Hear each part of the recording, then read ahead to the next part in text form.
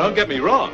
You know, I'm not in the habit of bathing in strange girls' apartments. You see, Johnny gave us a key to the place and said whenever we were in town to drop in. Well, you can drop right out again. You Johnny's girl? I'm my mother's girl. You live alone? I like it. Well, I guess there's nothing more to say. Just goodbye. How about that? Does it pay to be honest? There's no real hospitality in the world.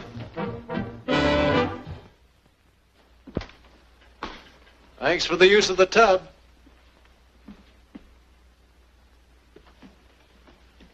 Forget something? No.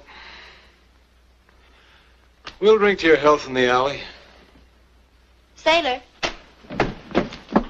You can drink your beer here if you want. But you can only stand till midnight. What gives then? I turn into a witch.